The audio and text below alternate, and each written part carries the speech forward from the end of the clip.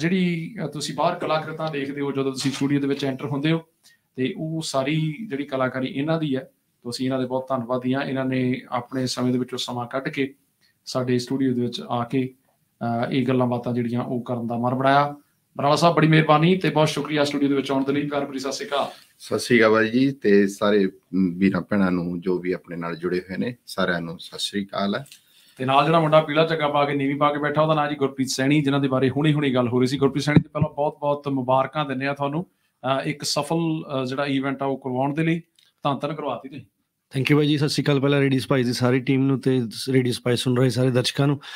ਭਾਈ ਜੀ team work ਸੀਗਾ it's not a single ਬੰਦੇ ਦੀ ਮਿਹਨਤ ਸੀਗੀ ਤੁਹਾਡੇ ਵਰਗੇ ਵੱਡੇ ਭਰਾਵਾਂ ਦਾ ਸਾਥ ਸੀਗਾ ਇਵੈਂਟ ਤਾਂ ਸਕਸੈਸਫੁਲ ਹੋਇਆ ਜੀ। ਮਿਹਰਬਾਨੀ।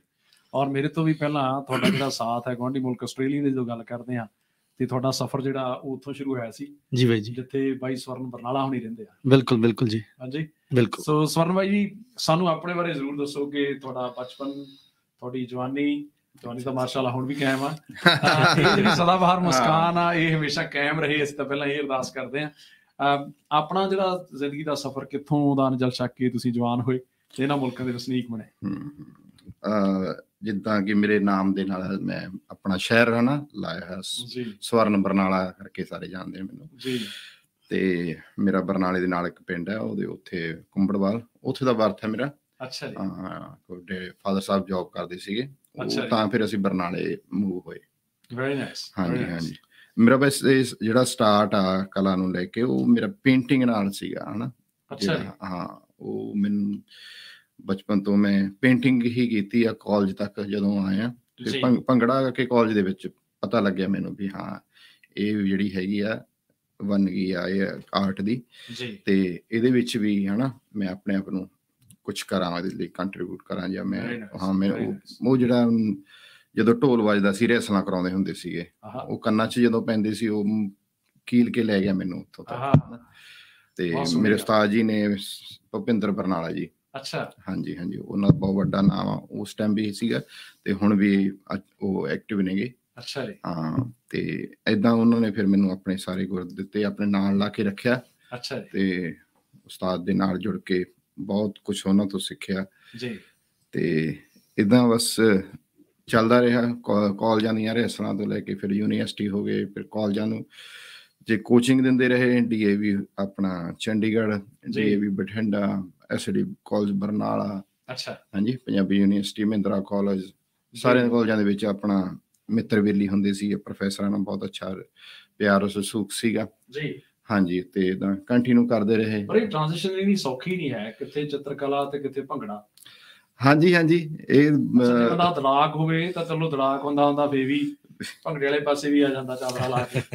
ਪਰ ਉਹਨੂੰ ਤਾਂ ਬਹੁਤ ਸੂਹਲ ਕਲਾ ਬੜੀ ਸੂਖਮ ਕਲਾ ਆ। ਤੇ ਮੈਂ ਆਪਣੇ ਜਿਹੜੇ ਦਰਸ਼ਕ ਨੇ ਉਹਨਾਂ ਨੂੰ ਦਿਖਾਉਣਾ ਚਾਹਣਾ ਵੀ ਆਹ ਕਲਾ ਜੀ ਬਾਈ ਦੀ ਜਿਹੜੀ ਕਲਾ ਦੀ ਗੱਲ ਉਹਨਾਂ ਨੇ ਕੀਤੀ ਕਿ ਬਰਨਾਲੇ ਤੋਂ ਜਦੋਂ ਸ਼ੁਰੂਆਤਾਂ ਹੋਈਆਂ ਵੈਸੇ ਮੈਨੂੰ ਕਹਿਣਾ ਇਹ ਚਾਹੀਦਾ ਜਦੋਂ ਬਾਈ ਹੁਣੀ ਸਟੂਡੀਓ 'ਚ ਆ ਵੀ ਆ ਗਿਆ ਸੰਧੂਰੀ ਪੱਗ ਬੰਨ ਕੇ ਜਿਹਦੀ ਸੀ ਢੀਕ ਮਿੱਤਰੋ ਲੇਕਿਨ ਮੈਂ ਭੂਮਿਕਾ ਵੇਲੇ ਗੱਲ ਕਣੀ ਭੁੱਲ ਗਿਆ। ਸੋ ਇਹ ਇਹ ਕਲਾ ਹੈ ਜੀ ਬਾਈ ਦੀ ਤੇ ਅਸੀਂ ਇਸ ਕਲਾ ਦੇ ਬਹੁਤ ਬਹੁਤ ਜ਼ਿਆਦਾ ਪਾਸ਼ਕ ਹਾਂ ਕਿਉਂਕਿ ਬਾਈ ਨੇ ਆਪਣੀ ਕਲਾ ਦੇ ਨਾਲ ਸਾਨੂੰ ਸਾਰਿਆਂ ਨੂੰ ਨਵਾਜਿਆ। ਰੇਡੀਓ ਸਪਾਈਸ ਦਾ ਜਿਹੜਾ ਸਟੂਡੀਓ ਹੈ, ਉਹਦੇ ਵਿੱਚ ਬੜੇ ਮਾਣਯੋਗ ਤਰੀਕੇ ਨਾਲ ਅਸੀਂ ਇਸ ਕਲਾ ਨੂੰ ਜਿਹੜਾ ਉਹ ਸਾਂਭ ਕੇ ਰੱਖਿਆ ਹੋਇਆ ਤੇ ਬਾਈ ਸਵਰਨ ਬਰਨਾਲਾ ਦੇ ਨਾਲ ਗੱਲਾਂ ਹੋ ਰਹੀਆਂ, ਜਿਨ੍ਹਾਂ ਨੇ ਹੁਣੇ ਜਾਣਕਾਰੀ ਦਿੱਤੀ ਕਿ ਚਿੱਤਰਕਲਾ ਤੋਂ ਸ਼ੁਰੂਆਤਾਂ ਹੋਈਆਂ। ਅੱਛਾ, ਉਹਨਾਂ ਵੇਲਿਆਂ ਦੇ ਵਿੱਚ ਕਿਹੜੇ ਉਸਤਾਦ ਸੀ ਤੁਹਾਡੇ ਜਿਨ੍ਹਾਂ ਨੇ ਤੁਹਾਨੂੰ ਪ੍ਰੇਰਿਆ ਇਸ ਪਾਸੇ ਨੂੰ? ਪੇਂਟਿੰਗ ਦੇ ਵਿੱਚ ਤਾਂ ਹੋਈ ਸੀਗਾ ਵੀ ਮੈਨੂੰ ਉਸ ਟਾਈਮ ਵੀ ਕਿਸੇ ਨੇ ਬਾਹ ਨਹੀਂ ਫੜੀ ਤੇ ਪਰ ਅੰਦਰ ਜਿਹੜੀ ਹੈਗੀ ਸੀ ਅੱਗ ਸੀਗੀ, ਉਹ ਮੈਂ ਚੱਲਦਾ ਰਹਿੰਦਾ ਸੀ ਮੇਰਾ ਅੰਦਰ ਹਨਾ ਵੀ ਮੈਂ ਕਿੱਦਾਂ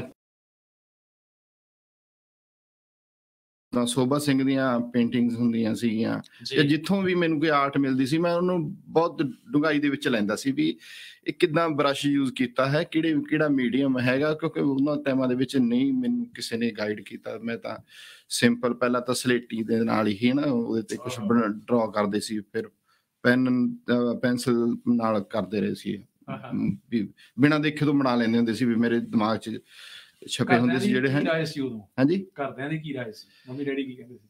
ਉਹ ਖੁਸ਼ ਹੁੰਦੇ ਸੀ ਵੀ ਸਾਡਾ ਬੱਚਾ ਇੱਕ ਸਹੀ ਟਰੈਕ ਤੇ ਆ ਵੀ ਇਹ ਹੋਰਾਂ ਵਾਂਗੂ ਹੋਰ ਰਸਤਿਆਂ ਦੇ ਵਿੱਚ ਨਹੀਂ ਉਲਝਿਆ ਹੋਇਆ ਤੇ ਇੱਕ ਆਪਦੀ ਅੱਛੀ ਰਿਸਪੈਕਟ ਵਾਲੀ ਜਿਹੜੀ ਕਲਾ ਗਈ ਉਹਦੇ ਵਿੱਚ ਉਹਨੂੰ ਟਾਈਮ ਦੇ ਰਿਹਾ ਹਾਂ। ਉਹਨਾਂ ਨੇ ਆਪਣੇ- ਐਪਰੀਸ਼ੀਏਟ ਕੀਤਾ ਕਦੇ ਉਹਨਾਂ ਨੇ ਇਹ ਨਹੀਂ ਹੈਗਾ ਕੀਤਾ ਵੀ ਤੂੰ ਇਹ ਕੀ ਕਰ ਰਿਹਾ ਤੂੰ ਪੜ ਲੈ ਜਾਂ ਵੱਧ ਜਾਊਗਾ ਉਹਨਾਂ ਨੇ ਪੂਰਾ ਕੋਆਪਰੇਟ ਕੀਤਾ। ਸੋ ਭੰਗੜੇ ਵੱਲ ਮੁਹਾਰਾਂ ਕਿਵੇਂ ਮੋੜੀਆਂ ਫਿਰ?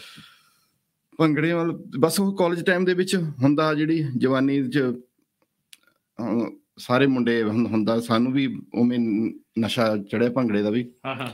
ਤੇ ਪਰ ਪਤਾ ਨਹੀਂ ਕੀ ਹੈ ਉਹਨੂੰ ਬਹੁਤ ਜ਼ਿਆਦਾ ਮੈਂ ਜਿਹੜੀ ਚੀਜ਼ ਨੂੰ ਫੜ ਲੈਣਾ ਬਹੁਤ ਉਹਦੀ ਜੜਾਂ ਤੱਕ ਚਲਾ ਜਾਂਦਾ ਹਨਾ? ਉਹਦੀ। ਡੂੰਘਾਈ ਚ ਬਹੁਤ ਚਲਾ ਗਿਆ ਮੈਂ। ਤੇ ਭੰਗੜੇ ਨੂੰ ਪੂਰਾ ਹੰਡਾਇਆ ਜਿ- ਜਿਵੇਂ ਕਹਿੰਦੇ ਨੇ ਸਿਰ ਤੋਂ ਲੈ ਕੇ ਪੈਰਾਂ ਤੱਕ ਹਨਾ? ਤੇ ਉਹਦੀ ਕੱਲੀ ਕੱਲੀ ਬਰੀਕੀ ਦੇ ਵਿੱਚ ਵੀ ਕੀ ਉਹਦੇ ਵਿੱਚ ਬੈਕਗ੍ਰਾਉਂਡ ਕੀ ਆ? ਜੀ ਹੈਂ? ਜੀ। ਕੀ ਡਰੈਸ ਅਪ ਪਹਿਲਾਂ ਕੀ ਡਰੈਸ ਅਪ ਸੀ ਤੇ ਹੁਣ ਕੀ ਆ? ਅਸੀਂ ਕੀ ਉਹਦੇ ਚ ਕੰਟਰੀਬਿਊਟ ਕਰ ਸਕਦੇ ਆ ਉਦਾਂ ਦੇ ਫਿਰ ਇੱਕ ਜਿਹੜਾ ਉਹ ਰੰਗ ਸੀਗੇ ਮੇਰੇ ਉਹ ਭੰਗੜੇ 'ਚ ਵੀ ਆਉਂਦੇ ਰਹੇ ਨਾਲ ਨਾਲ ਮੈਂ ਆਪਣੀ ਚੇਂਜ ਕਰਦਾ ਰਿਹਾ। ਮੇਰੇ ਜਿਹੜੇ ਸਟੂਡੈਂਟ ਨੇ ਉਹ ਜਾਣਦੇ ਨੇਗੇ ਜਾਂ ਮੇਰੇ ਜਿਹੜੇ ਉਦੋਂ ਇੰਚਾਰਜ ਹੁੰਦੇ ਸੀ ਉਹਨਾਂ ਨੂੰ ਪਤਾ ਸੀ ਵੀ ਸਵਰਨ ਇਹਨਾਂ ਕਲਰ ਰੰਗਾਂ ਨਾਲ ਸਟੇਜ ਤੇ ਵੀ ਕਿਵੇਂ ਖੇਡਦਾ? ਇਹ ਉਹ ਸਮਾਂ ਸੀ ਜਦੋਂ ਯੂਥ ਫੈਸਟੀਵਲਾਂ ਦੇ ਵਿੱਚ ਤੁਹਾਡੀ ਕਲਾ ਨੂੰ ਨਿਹਾਰਿਆ ਜਾਂਦਾ, ਉਸੇ ਨਿਸ਼ਾਨਦੇਹੀ ਕੀਤੀ ਜਾਂਦੀ ਹੈ, ਹੱਲਾਸ਼ੇਰੀ ਦਿੱਤੀ ਜਾਂਦੀ ਹੈ। ਉਹਨਾਂ ਸਮਿਆਂ ਦੇ ਵਿੱਚ ਭੰਗੜਾ ਤੇ ਚਿੱਤਰਕਲਾ ਦੋਵੇਂ ਸਮਾਨਾਂਤਰ ਜਿਹੜੇ ਆ, ਉਹ ਤੁਰਦੇ ਤੁਰਦੇ ਤੁਹਾਡੇ ਹੁਣ ਤੱਕ ਦੇ ਸਫ਼ਰ ਦੇ ਸਾਥੀ ਰਹੇ। ਕੋਈ ਹੋਰ ਕਲਾ ਜਿਹੜੀ ਸਾਡੀ ਨਜ਼ਰ ਦੇ ਵਿੱਚ ਨਾ ਆਈ ਹੋਵੇ, ਉਹਦੇ ਬਾਰੇ ਵੀ ਚਰਚਾ ਜ਼ਰੂਰ ਕਰੋ। ਨਹੀਂ ਮੇਰਾ ਮੇਨ ਤਾਂ ਮੈਨੂੰ ਇਹੀ ਰਿਹਾ ਮੈਂ ਜ਼ਿਆਦਾ ਗਲਤ ਫਹਿਮੀਆਂ ਨਹੀਂ ਪਾਲੀਆਂ। ਮੈਂ ਇਹਨਾਂ ਦੇ ਵਿੱਚ ਹੀ ਆਪਦੇ ਆਪ ਨੂੰ ਕੋਸ਼ਿਸ਼ ਕੀਤੀ ਵੀ ਮੈਂ ਇਹਨਾਂ ਚ ਹੋਰ ਸਿੱਖਾਂ ਹੋਰ ਅੱਗੇ ਲੈ ਕੇ ਜਾਵਾਂ। ਹਾਂਜੀ ਪਰਪੱਕ ਹੋਵਾਂ। ਤੇ ਇਦਾਂ ਫਿਰ ਮੈਨੂੰ ਜਦੋਂ ਮੈਂ ਡੀਏਵੀ ਚੰਡੀਗੜ੍ਹ ਗਿਆ ਤੇ ਗੁਰਪ੍ਰੀਤ ਸੈਣੀ ਮਿਲਿਆ। ਤੇ ਇਹਨੇ ਜੋ- ਜੋ ਮੈਂ ਆਪਣਾ ਇੱਕ ਆਪ ਨੂੰ ਸ਼ਾਗਿਰਦ ਮੰਨ ਕੇ ਆਪਣੇ ਉਸਤਾਦ ਦੀ ਕਦਰ ਕਰਦਾ ਸੀਗਾ। ਇਹ ਗੁਰਪ੍ਰੀਤ ਨੇ ਮੈਨੂੰ ਮੈਨੂੰ ਆ- ਮੇਰਾ ਆਪਣਾ ਆਪ ਇਹਦੇ ਚ ਮੇਰੇ ਚ ਝਲਕਣ ਲੱਗਿਆ। ਉਦੋਂ ਵੀ ਪੀਲਾ ਝੱਗਾ ਪਾ ਕੇ ਰੱਖਦਾ ਸੀ। ਜ਼ਿਆਦਾ ਕਰ। ਹਾਂ ਬਹੁਤ ਬਹੁਤ ਬਹੁਤ ਸਲੀਕ ਸਲਿਮ ਐਂ ਲੱਗਦਾ ਸੀ ਮੈਂ 10ਵੀਂ 11ਵੀਂ ਵਾਲਾ ਮੁੰਡਾ ਹੁੰਦਾ ਦਾੜੀ ਥੋੜੀ ਥੋੜੀ ਲੂਈ ਜੀ ਹਨਾ ਇੱਕ ਬੱਚਾ ਵਾਂਗੂ ਛੋਟੇ ਭਰਾਵਾਂ ਵਾਂਗੂ। ਅੱਛਾ ਇੱਕ ਹੋਰ ਬਹੁਤ ਲਾਡਲਾ ਤੁਹਾਡਾ ਸ਼ਾਗਿਰਦ ਮੈਂ ਕਹਿ ਸਕਦਾ ਤੁਹਾਡਾ ਬੱਚਾ ਹੀ ਕਹਿ ਸਕਦਾ। ਮੈਂ ਬਹੁਤ ਫਖਰ ਨਾਲ ਜ਼ਿਕਰ ਕਰਦਾ ਮਾਸ਼ਾ ਅਲੀ ਹੁਣਾਂ ਦਾ। ਹਾਂ ਹਾਂ ਥੋੜੀਆਂ ਉਹ ਮਾਸ਼ਾ- ਵੀ ਯਾਦਾਂ ਸਾਡੀਆਂ ਹਾਂ, ਮਾਸ਼ਾ ਅਲੀ ਜਦੋਂ ਮੈਂ ਬਠਿੰਡੇ ਡੀਏਵੀ ਕਾਲਜ ਟੀਮ ਤਿਆਰ ਕਰਾਉਣ ਗਿਆ ਸੀਗਾ 98 ਦੀਆਂ ਗੱਲਾਂ ਨੇ 99 ਦੀਆਂ ਮੇਬੀ ਜੀ। ਹਾਂਜੀ। ਉਹਨਾਂ ਟਾਈਮਾਂ ਦੇ ਵਿੱਚ ਮੇਰੇ ਨਾਲ ਸਰਦਾਰ ਅਲੀ ਅੱਜ ਅੱਜ ਕੱਲ ਉਹਨਾਂ ਦਾ ਨਾਮ ਬਹੁਤ ਵੱਡਾ ਉਹਨਾਂ ਟਾਈਮ ਦੇ ਵਿੱਚ ਹਾਂਜੀ ਹਾਂਜੀ। ਉਹ ਵੀ ਮਿੱਤਰ ਨੇ ਆਪਣੇ। ਅਸੀਂ। ਇਕੱਠੇ ਵੀ ਸਰ- ਸਰਦਾਰ ਅਲੀ ਜੀ ਨੂੰ ਮੈਂ ਨਾਲ ਲੈ ਕੇ ਗਿਆ ਸੀ ਕਿਉਂਕਿ ਉਹਨਾਂ ਨੇ ਗਰੁੱਪ Song ਵਗੈਰਾ ਤਿਆਰ ਕਰਵਾਉਣੇ ਸੀਗੇ। ਕਾਲਜ ਦੇ ਵਿੱਚ। ਤੇ ਮੈਂ ਉਹਨਾਂ ਨੂੰ ਕਿਹਾ ਮੈਂ ਯਾਰ ਵੀ ਮੈਨੂੰ ਬੋਲੀਆਂ ਵਾਸਤੇ ਕੋਈ ਵਧੀਆ ਸੁਰੀਲਾ ਬੰਦਾ ਚਾਹੀਦਾ ਵੀ ਥੋੜਾ ਮੈਂ ਹੈਗਾ ਨਾਲੇ ਤਾਂ ਵੀ ਕੰਪੀਟੀਸ਼ਨ ਹੁੰਦਾ ਉੱਥੇ ਵੀ ਹਾਂਜੀ, ਹਾਂਜੀ, ਹਾਂਜੀ। ਬਿਲਕੁਲ ਬਿਲਕੁਲ ਜੀ। ਅੱਛਾ। ਫਿਰ ਉਹਨਾਂ ਨੇ ਮੈਨੂੰ ਇਹਦੀ ਮਾਸ਼ੇ ਦੀ ਦੱਸ ਪਾਈ ਇਹਨੂੰ ਲੈ ਕੇ ਆਂਦਾ। ਇਹ ਕਿਤੇ ਹੋਰ ਐਡਮਿਸ਼ਨ ਸੀ ਫਿਰ ਉਹਦੀ ਆਪਣੇ ਕਾਲਜ ਐਡਮਿਸ਼ਨ ਹਾਂ। ਪਰ ਇੱਕ ਇਦਾਂ ਹੁੰਦਾ ਜਿਹੜਾ ਭੰਗੜੇ ਵਾਲੇ ਉਸਤਾਦ ਹੁੰਦੇ ਨੇ ਹਨਾ ਉਹਨਾਂ ਤੋਂ ਜਿਹੜੀ ਉਹ ਸਟੂਡੈਂਟ ਹੁੰਦੇ ਨੇ ਥੋੜੇ ਜਿਹਾ ਜ਼ਿਆਦਾ ਡਰ ਡਰਦੇ ਹੁੰਦੇ ਨੇ। ਹਨਾ। ਸਾਡਾ ਉਹ ਹੀ ਹੁੰਦਾ ਸੀ ਮਤਲਬ ਮਾਲਵੇ ਵਾਲੇ ਹੈਗੇ ਆ ਹਨਾ? ਹਾਂ ਖੁੱਲਾ ਚੱਲਦੇ ਆ ਹਨਾ? ਵੀ ਜਿੱਦਾਂ ਦਾ ਵੀ ਹੁੰਦਾ ਇੱਕ ਦਬ ਦਬਦਬਾ ਹੁੰਦਾ। ਤੇ ਉਦਾਂ ਮਾਸ਼ੀ ਨੂੰ ਦੇਖਿਆ ਸੀ ਵੀ ਇਹ ਤਾਂ ਬੰਦਾ ਐਡਾ ਉਹ ਆ ਜਦੋਂ ਜਦੋਂ ਜਦੋਂ ਤਿਆਰੀ ਕਰਾ ਰਹੇ ਨੇ ਉਦੋਂ ਭੁੱਲ ਜਾਂਦੇ ਆ ਅਸੀਂ ਹਨਾ? ਸਾਰਾ ਕੁਝ ਉਦੋਂ ਸਾਨੂੰ ਉਹੀ ਦੱਸਦਾ ਵੀ ਇਹ ਮੁੰਡੇ ਦੀ ਲੱਤ ਉੱਥੇ ਕਿਉਂ ਨਹੀਂ ਜਾ ਰਹੀ? ਜਿੱਥੇ ਮੈਂ ਚਾਹਣਾ ਉਵੇਂ ਇੱਕ ਨਹੀਂ ਕਰ ਪਾ ਰਿਹਾ ਇਹ ਵੀ ਉਦੋਂ ਥੋੜਾ ਜਿਹਾ ਸ਼ਬਦ ਵੀ ਕੋਈ ਮੂੰਹੋਂ ਇਹੋ ਜਿਹੇ ਨਿਕਲਦੇ ਨਿਕਲ ਨੇ ਉਹ ਮਾਸ਼ਾ ਭੱਜ ਭੱਜ ਜਾਂਦਾ ਸੀ ਵੀ ਮੈਨੂੰ ਇਹਦੇ ਬਸ ਪਾ ਰਹੇ। ਹਾਂ। ਹੈ? ਵੀ ਇਹ ਸਖਤ ਸੁਭਾਅ। ਇਹ ਸਾਡਾ ਸਖਤ ਸੁਭਾਅ ਹੈ। ਪਰ ਨਹੀਂ ਉਹ ਬਹੁਤ ਮੇਰਾ ਲਾੜਲਾ ਭਰਾ ਛੋਟਾ। ਜੀ। ਤੇ ਪਰ ਉਹ ਹੁਣ ਤੱਕ ਜੁੜਿਆ ਹੋਇਆ ਸੀ ਇਕੱਠੇ ਹਾਂ ਜਿੱਥੇ ਸਵਰਨ ਗਿਆ ਉੱਥੇ ਮਾਸ਼ਾ ਉੱਥੇ ਸੈਣੀ। ਵੀ ਇੱਕ ਪਰਿਵਾਰ ਵਾਂਗੂ ਲੈ ਕੇ ਚੱਲਦਾ ਸੀ। ਜੇ ਚੰਡੀਗੜ੍ਹ ਵੱਲ ਨੂੰ ਹੋ ਗਏ ਅਸੀਂ ਤਾਂ ਸਾਰਾ ਮੇਰਾ ਉਹ ਜਿਹੜਾ ਪਰਿਵਾਰ ਸੀ ਨਾਲ ਹੁੰਦੇ ਸੀ ਸਾਰੇ ਮਿੱਤਰ ਹਨਾ? ਹਾਂ। ਅੱਛਾ ਫਿਰ ਜ਼ਿੰਦਗੀ 'ਚ ਬੜਾ ਖੂਬਸੂਰਤ ਮੋੜ ਆਇਆ ਜਿੱਥੇ ਸੁਖੀ ਪਲ ਹੁਣੀ ਤੁਹਾਨੂੰ ਮਿਲਦੇ ਆ। ਉਸ ਮੋੜ ਦੀ ਚਰਚਾ ਵੀ ਹੋ ਜਾਏ। ਹਾਂਜੀ। ਸੁਖੀ ਨੂੰ ਬਸ ਮੈਂ ਪਹਿਲੀ ਵਾਰ ਇੱਕ ਕਿਹੜਾ ਸੀ? ਐਨਐਸਐਸ ਕੈਂਪ ਲੱਗਣ ਲੱਗਾ ਨਹੀਂ ਨਹੀਂ ਨਹੀਂ ਜੀ। ਸੌਰੀ ਇਧਰ ਲੌਂਗੋਵਾਲ ਕੋਲੇ ਕੋਈ ਸੁਨਾਮ ਇੱਕ ਕੰਪੀਟੀਸ਼ਨ ਸੀ। ਹਾਂ, ਹਾਂ। ਉਦੋਂ ਮੈਂ ਵੀ ਸ਼ਾਇਦ ਮੈਂ ਫਸਟ ਇਅਰ ਸੈਕੰਡ ਇਅਰ ਚ ਹੋਊਂਗਾ। ਅੱਛਾ ਉਦੋਂ ਮੈਂ ਪਹਿਲੀ ਵਾਰ ਦੇਖਿਆ ਸੀ ਇਹ ਇੱਕ ਆਪਣੇ ਡਾਂਸ ਦੀ ਪਰਫਾਰਮੈਂਸ ਦੇਣ ਆਈ ਸੀ। ਅੱਛਾ ਜੀ। ਉਹ ਉਦੋਂ ਦਾ ਮੇਰੇ ਦਿਮਾਗ 'ਚ ਹੀ ਸੀ ਉਹ ਇੱਕ ਵਾਰੀ ਉਹਦੀ ਸ਼ਕਲ ਦੇਖੀ ਸੁੱਖੀ ਦੀ। ਹੂੰ, ਹੂੰ। ਤੇ ਉਸ ਤੋਂ ਬਾਅਦ ਮੈਂ ਜਦੋਂ ਉਸ ਤੋਂ ਬਾਅਦ ਭੁੱਲ ਭੁਲਾ ਗਏ ਸਾਰਾ ਅਸੀਂ ਆਪਦੇ ਆਪਦੇ ਫੀਲਡਾਂ ਦੇ ਵਿੱਚ ਚਲੇ ਗਏ ਉਦੋਂ ਕਿਹੜਾ ਫੋਨ ਹੁੰਦੇ ਸੀ ਨਾ ਫੇਸਬੁੱਕ ਹੁੰਦੀ ਸੀ ਵੀ ਮੈਂ ਲੱਭ ਲੈਂਦਾ ਉਹਨੂੰ।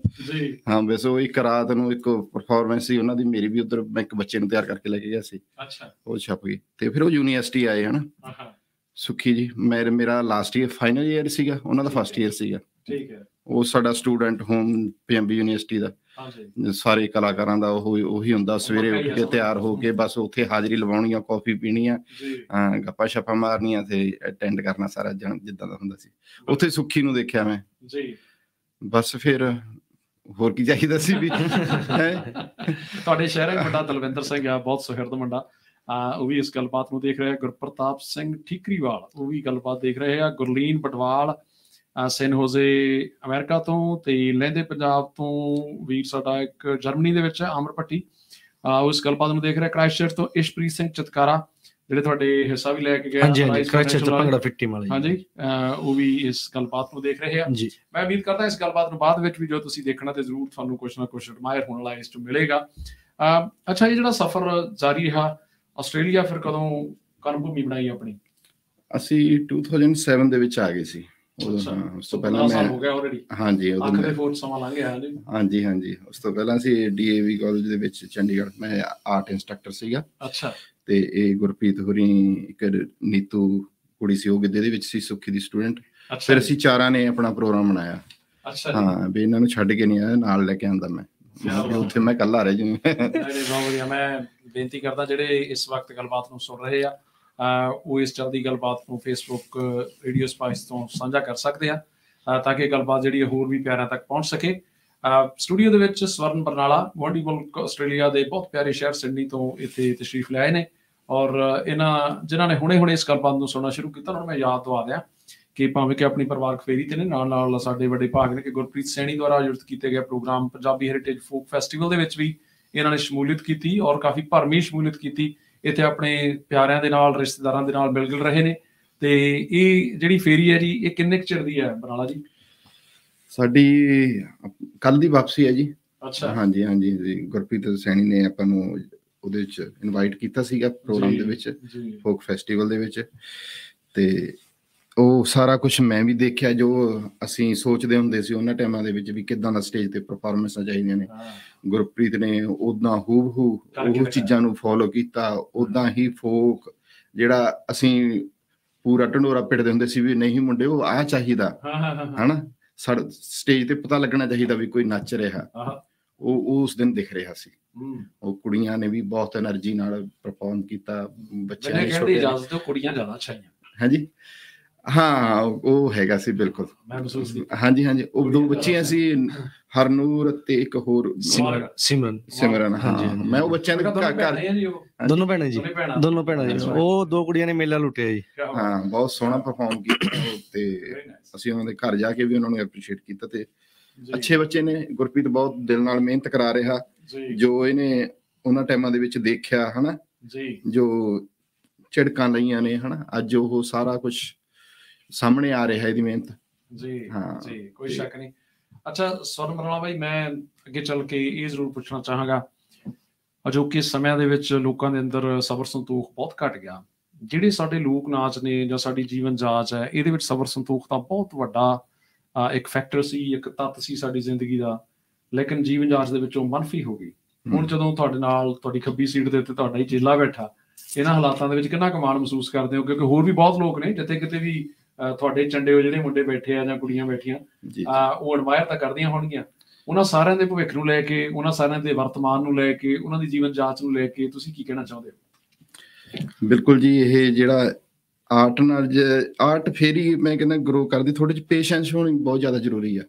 ਹਾਂਜੀ ਇੱਕੋ ਦਿਨ ਦੇ ਵਿੱਚ ਕੁਝ ਨਹੀਂ ਹੋ ਜਾਂਦਾ ਹਨਾ? ਉਹਦੇ ਵਿੱਚ ਇੱਕ ਬਹੁਤ ਲੰਬੀਆਂ ਮਿਹਨਤਾਂ ਲੱਗੀਆਂ ਹੁੰਦੀਆਂ ਨੇ ਹਨਾ?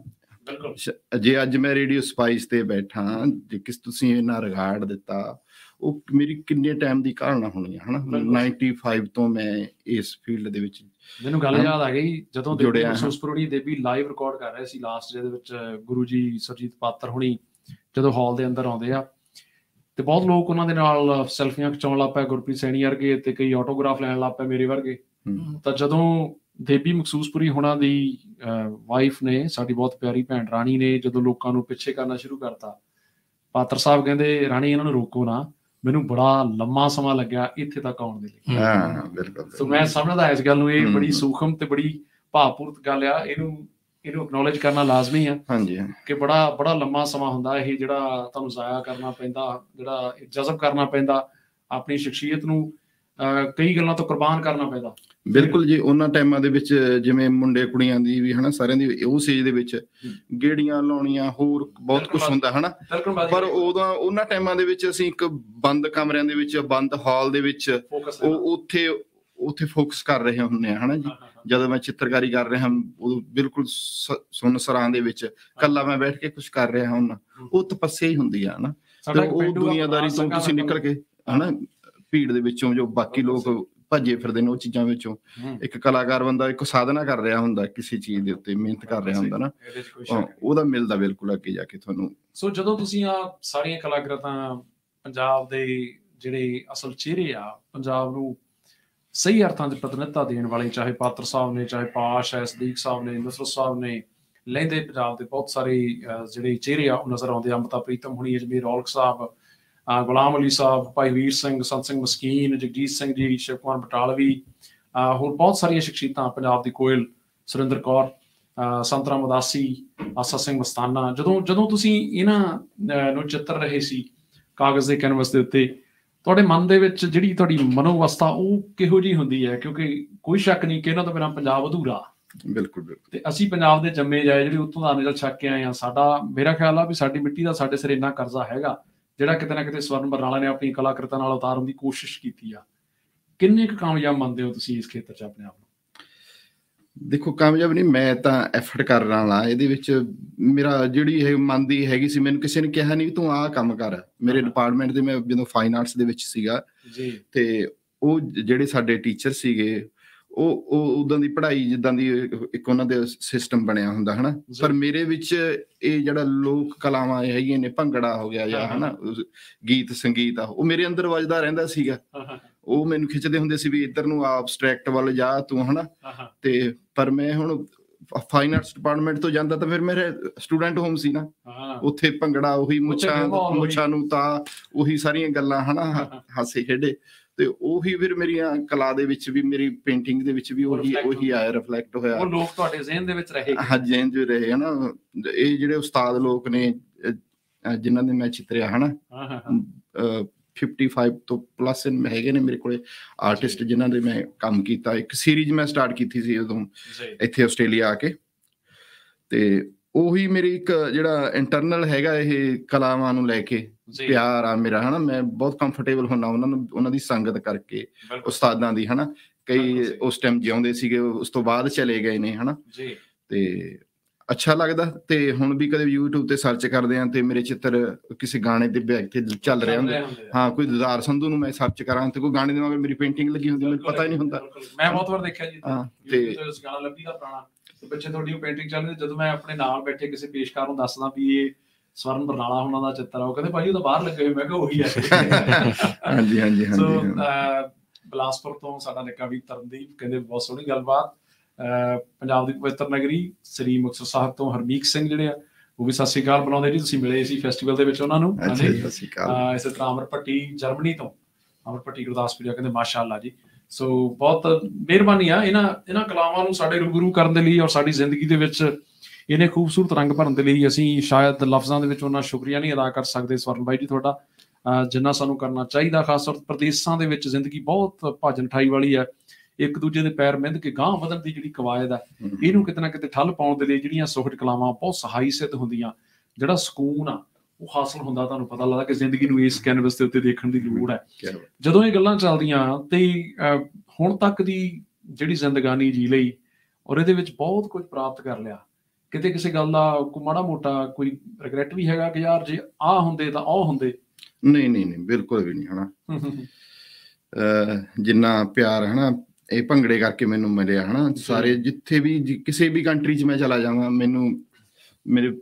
ਮਿਲ ਮਿਲ ਜਾਂਦੇ ਨੇ ਹਨਾ? ਮੇਰੇ ਕੋਲ ਮੇਰੇ ਯਾਰ ਦੋਸਤ ਮਿਲ ਜਾਂਦੇ ਆ ਜਿਹੜੇ ਜਿਨ੍ਹਾਂ ਨਾਲ ਮੈਂ ਨੱਚਿਆ ਜਾਂ ਜਿਨ੍ਹਾਂ ਨੂੰ ਮੈਂ ਨਚਾਇਆ ਉਹ ਕਈ ਉਸਤਾਦ ਜਿਹੜੇ ਡਰਮਰ ਨੇ ਕੋਈ ਸਿੰਗਰ ਨੇ ਹਾਂ ਉਹ ਸਾਰਾ ਮੇਰਾ ਬਹੁਤ ਵੱਡਾ ਪਰਿਵਾਰ ਆ ਇਹ ਦੁਨੀਆ। 'ਚ ਵੀ ਹਨ? ਜਿੱਥੇ ਵੀ ਕਿਸੇ ਕੰਟਰੀ ਤੋਂ ਚਲਾ ਜਾਵਾਂ ਇੱਥੇ ਆ ਕੇ ਹੁਣ ਬਾਅਦ ਚ ਮੈਨੂੰ ਪਤਾ ਲੱਗਦਾ ਮੈਸੇਜ ਕਰਦੇ ਨੇ ਵੀ ਸਵਰਨ ਤੂੰ ਆ ਇੱਥੇ ਆਇਆ ਹੈ ਸਾਡੇ ਕੋਲ ਨਹੀਂ ਅਸੀਂ ਤਾਂ ਪਾਲਣਾ ਨੂੰ ਛੇੜਦੇ ਹੁੰਨੇ ਵੀ ਇਹ ਤੁਹਾਡਾ ਪੇਕਿਆਂ ਦਾ ਪਿੰਡ ਆ। ਸਾਡੀ ਬਹੁਤ ਸਤਿਕਾਰਯੋਗ ਭੈਣ ਨਿੱਕੀ ਭੈਣ ਆ।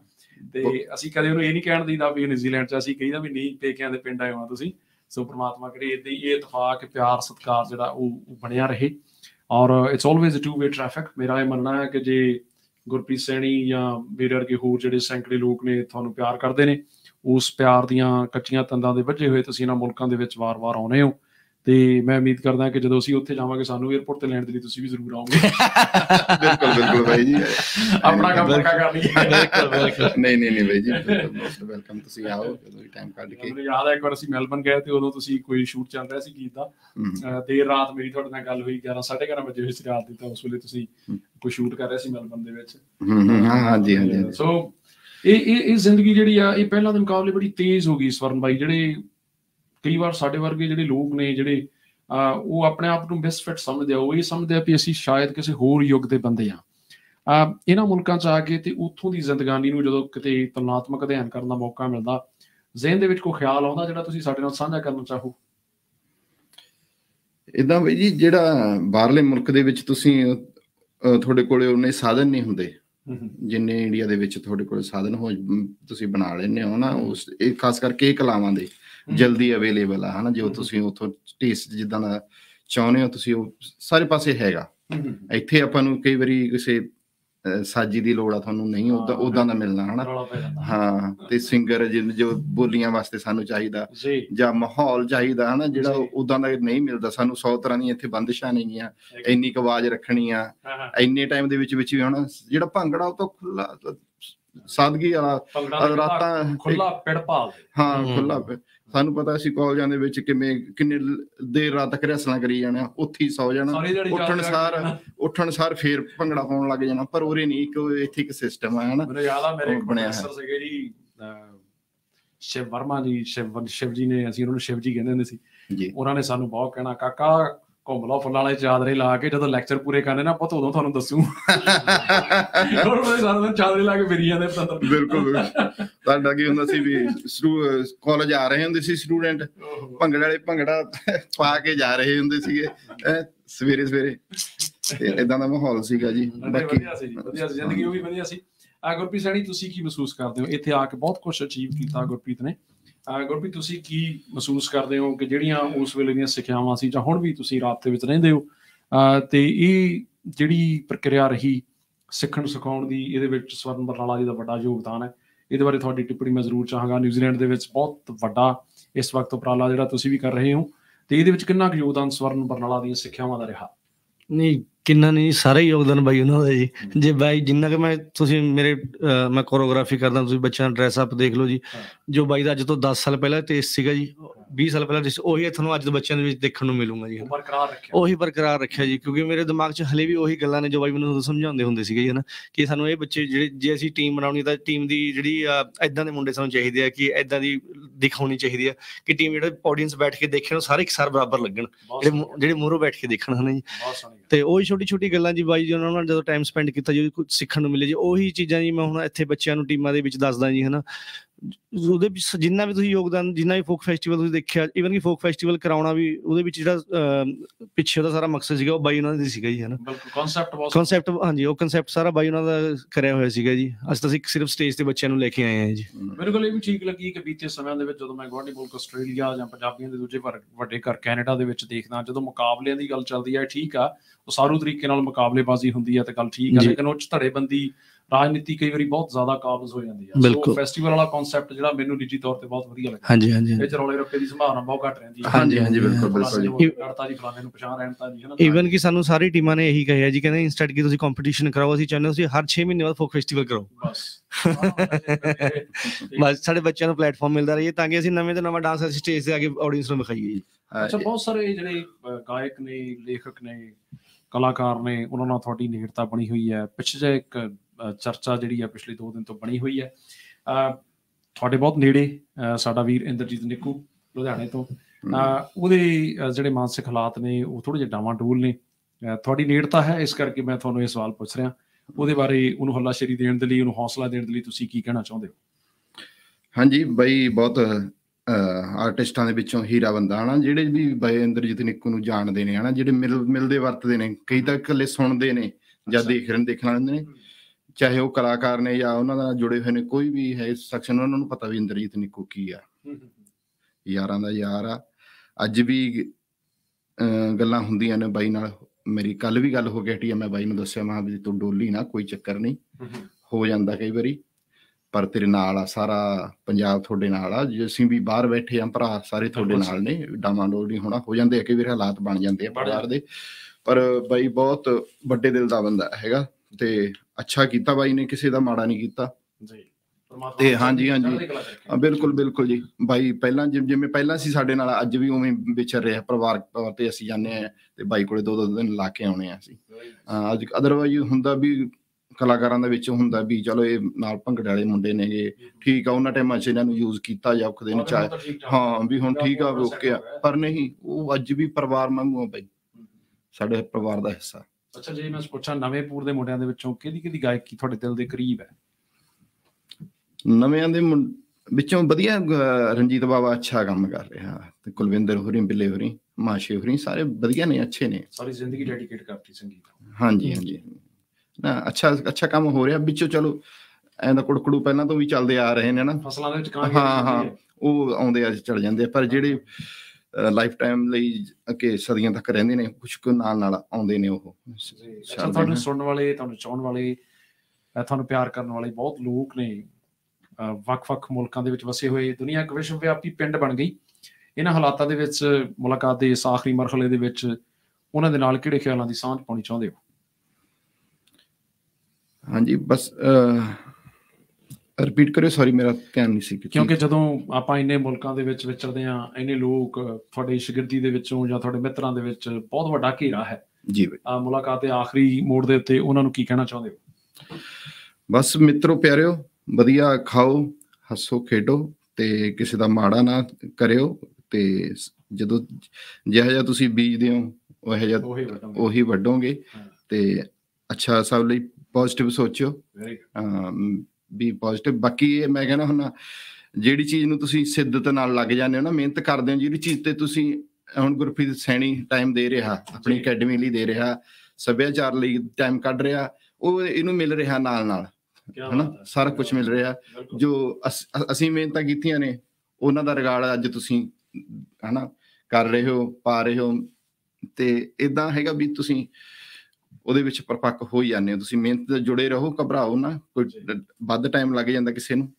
ਤੇ ਬਾਕੀ ਆਲ ਗੁੱਡ ਆ ਤੁਸੀਂ। ਹੱਸਦੇ ਵਸਦੇ ਰਹੋ ਭਰਾਵੋ ਬਹੁਤ ਮਿਹਰਬਾਨੀ ਸਟੂਡੀਓ ਦੇ ਵਿੱਚ ਆਉਣ ਦੇ ਲਈ ਗੁਰਪ੍ਰੀਤ ਸੈਣੀ ਜਿਨ੍ਹਾਂ ਜਿਨ੍ਹਾਂ ਮਾਪੇ ਨੇ ਮੈਨੇਜਰਸ ਨੇ ਕੋਚਸ ਨੇ ਬੱਚਿਆਂ ਨੇ ਤੇ ਸਪਾਂਸਰਸ ਨੇ ਤੁਹਾਡਾ ਸਾਥ ਦਿੱਤਾ ਉਹਨਾਂ ਨੂੰ ਆਖਰ ਦੇ ਵਿੱਚ ਧੰਨਵਾਦੀ ਲਫ਼ਜ਼ ਜ਼ਰੂਰ ਚਾਹਾਂਗਾ। ਬਿਲਕੁਲ ਜੀ ਸਭ ਤੋਂ ਪਹਿਲਾਂ ਸਾਰੇ ਆਕਲੈਂਡ ਦੇ ਆਡੀਅנס ਦਾ ਜਿਨ੍ਹਾਂ ਨੇ ਟਾਈਮ ਤੇ ਇਹ ਪਹਿਲੀ ਵਾਰ ਹੋਇਆ ਨਾ ਬਾਈ ਜੀ ਕਿ ਅਸੀਂ 3 ਵਜੇ ਗੇਟ ਓਪਨ ਕਰਨੇ ਸੀਗੇ ਕਿ ਬਾਹਰ 2:30 ਵਜੇ ਲਾਈਨ ਲੱਗੀ ਹੋਈ ਸੀਗੀ ਜੀ। ਹਨਾ ਤੇ ਸਭ ਤੋਂ ਪਹਿਲਾਂ ਸਾਰੀ ਆਡੀਅנס ਦਾ ਤੇ ਸਾਡੇ ਸਪਾਂਸਰਸ ਦਾ ਤੇ ਮੀਡੀਆ ਦਾ ਤੇ ਪੇਰੈਂਟਸ ਦਾ ਜਿਨ੍ਹਾਂ ਨੇ ਆਪਣਾ ਟਾਈਮ ਵਿੱਚੋਂ ਟਾਈਮ ਕੱਢ ਕੇ ਬੱਚਿਆਂ ਨੂੰ ਉੱਥੇ ਲੈ ਕੇ ਆਏ ਨੇ ਸਭ ਦਾ ਦਿਲੋਂ ਧੰਨਵਾਦ ਜੀ। ਐਕਸਲੈਂਟ ਸ਼ੁਕਰੀਆ ਬਹੁਤ ਬਹੁਤ ਮਿਹਰਬਾਨੀ ਇਸ ਗੱਲਬਾਤ ਤੋਂ ਤੁਰੰਤ ਬਾਅਦ। ਤੁਹਾਡੇ ਨਾਲ ਅਸੀਂ ਸਾਂਝ ਪਾ ਰਹੇ ਹਾਂ। ਕੈਨੇਡਾ ਤੁਸੀਂ ਸੁਣ ਰਹੇ ਹੋ Radio Spice subscribe now and press the bell icon never miss an update